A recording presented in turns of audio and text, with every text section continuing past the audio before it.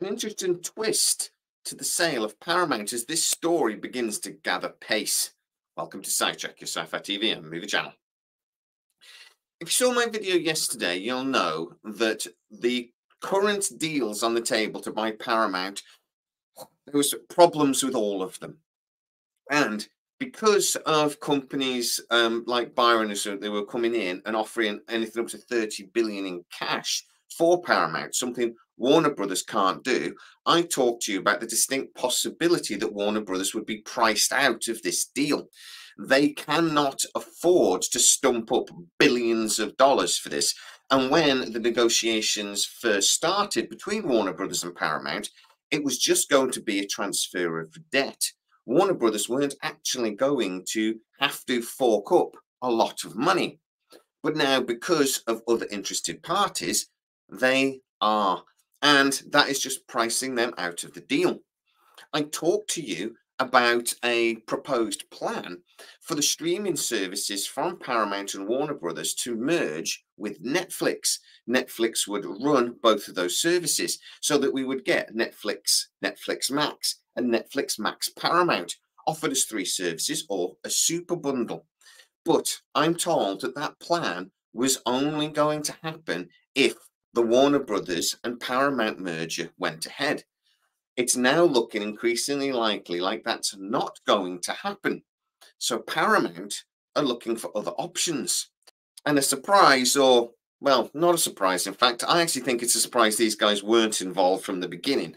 But a company is stepping up now and seems to be expressing an interest in at least parts of Paramount, making it more and more likely that as we discussed in the previous video, Paramount will not actually be sold to one company, but will be cut up into smaller sections and sold potentially to several new companies. Who am I talking about? Universal. Um, Peacock and Paramount Plus were in conversations to merge. Now, these conversations have not been made public yet, and they're in the very, very early stages of that chat. Why would Universal, who owns Peacock, be having this conversation? Well, it's simply because at the moment, the Peacock network is not profitable, and nobody seems to know when it's going to get profitable. Paramount Plus is also not profitable, but was hoping to become profitable by the end of 2025. The plan is to merge Paramount Plus and the Peacock streaming network into one service.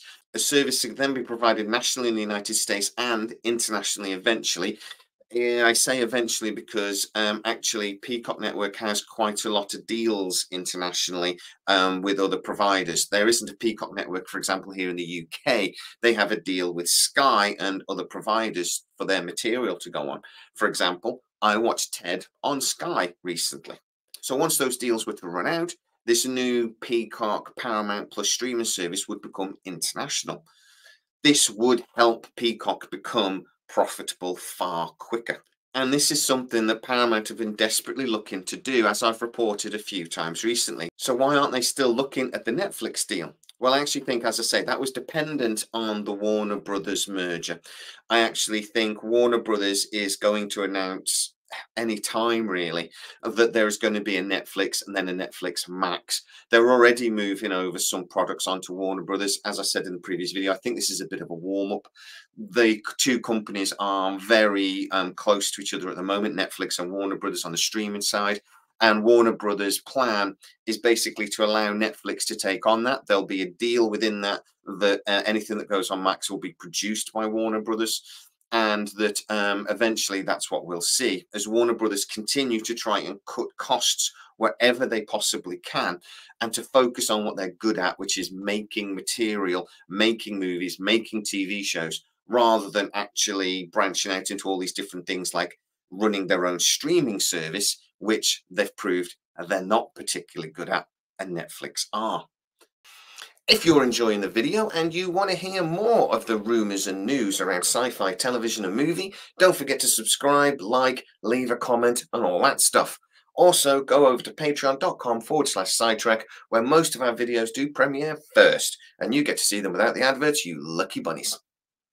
So, Paramount probably can't get in on that deal if the merger with Warner Brothers doesn't go ahead. So they have to find somebody else. That somebody else looks like it might be the Peacock network. Now, I'm being told that Universal are not interested in forking out billions and billions of dollars to buy any large portion of the um, Paramount Global empire. But they might actually be interested in smaller sections. As I say, they may be interested in this merger with um, Paramount Plus.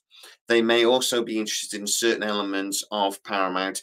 I'm being told they might be interested in things like MTV and be taking on some of those subsidiaries of Paramount.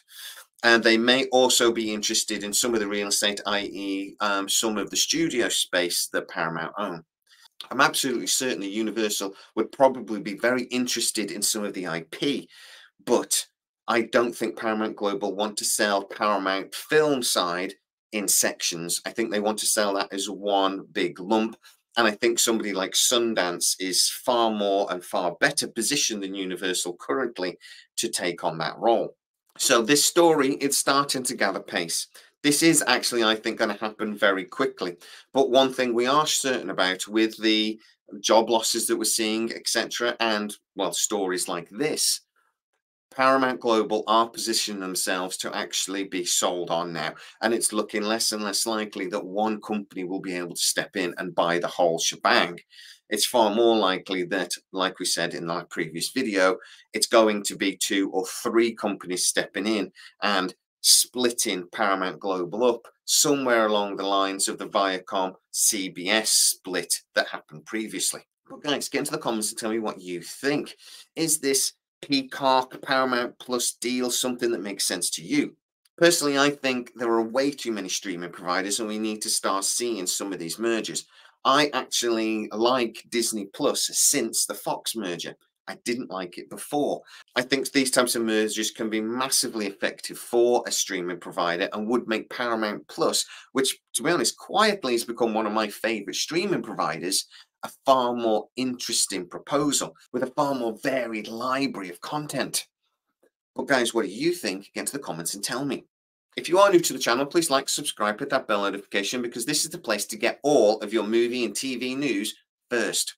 Also, go over to patreon.com forward slash scitrek where a lot of our videos do premiere first and you get to see them without the adverts, you lucky bunnies. Finally, go to sidetrack.co.uk, which is our dedicated website, and we do stories on a lot of our videos too go check it out. As always, please stay safe, and I'll see you next time.